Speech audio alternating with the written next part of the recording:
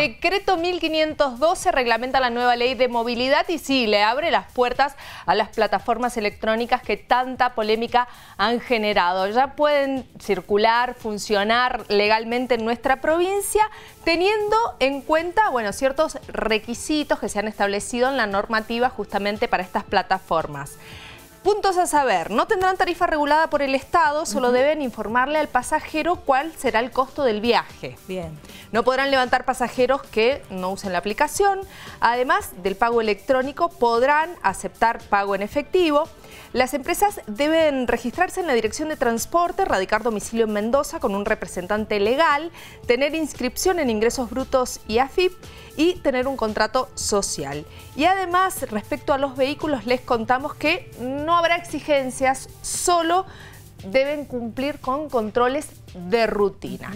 La, polémica en cuanto a los taxis eh, sigue vigente. De hecho, APROTAN, la asociación que agrupa a los propietarios de taxi, ha hecho llegar a los medios de comunicación un comunicado que ya mismo compartimos con ustedes y en el cual dice que ante la publicación del decreto que reglamenta la ley 9086, su asesor legal, el de APROTAN, se abocará al estudio pormenorizado del texto y a partir de allí va a establecer los pasos a seguir en la vía decisión que se comunicará oportunamente. A su vez, la Asociación Propietarios de Taxi de Mendoza resalta que avanza en la justicia el recurso de amparo presentado en contra de la denominada Ley de Movilidad y destaca la parcialidad manifiesta del gobierno de Alfredo Cornejo que pide la integración a la litis de las plataformas multinacionales Uber y Cabify. Llamativamente, dicen, Cornejo se inclina solo por esas dos operadoras, dejando de lado a Tango Taxi o ya menos plataformas locales y que incluso ya operan en nuestra provincia. Aquí tienen entonces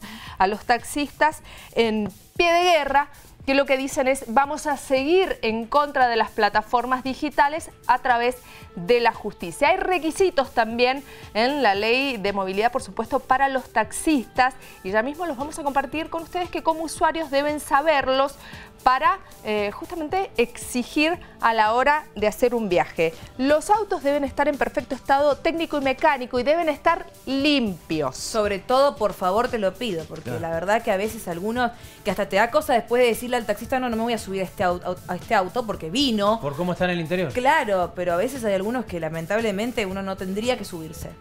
Muy bien, aparte de este punto, además, eh, se establecen ciertas dimensiones para los vehículos, a diferencia de lo que pasa para aquellos coches que trabajen para las plataformas electrónicas. En todos los casos, las unidades tienen que tener calefacción, aire acondicionado y levanta cristales en todas las puertas. Y además eh, deben eh, poseer em, tapizados fáciles de limpiar. Esto es por lo que señalábamos recién en cuanto a la limpieza. Ya de entrada les van a exigir que los vehículos tengan la posibilidad de ser eh, limpiados con facilidad. Eh, los choferes van a tener que tener un trato amable y respetuoso con los pasajeros. Así lo dice la ley expresamente. Respetar y hacer respetar la prohibición de fumar en los vehículos. Ah, claro, por favor. Cumplir las leyes de tránsito, los mm, choferes. sí. Además, también deberán exhibir en el interior del vehículo la credencial del chofer. El servicio mm, deberá prestarse por el camino más directo. Ustedes ya saben que en algún momento hubo quejas respecto de pasajeros eh, que decían sentirse, entre comillas, estafados porque les, eh, para cobrarles un mayor viaje los hacían eh, llegar cumpliendo un recorrido más largo. también en el interior del vehículo debe haber condiciones de iluminación que al pasajero le permita moverse cómodamente. No pueden transportar cadáveres, tampoco animales vivos, salvo los domesticados, como los perros guía. No pueden negarse a que, por ejemplo, un perro guía suba a un vehículo.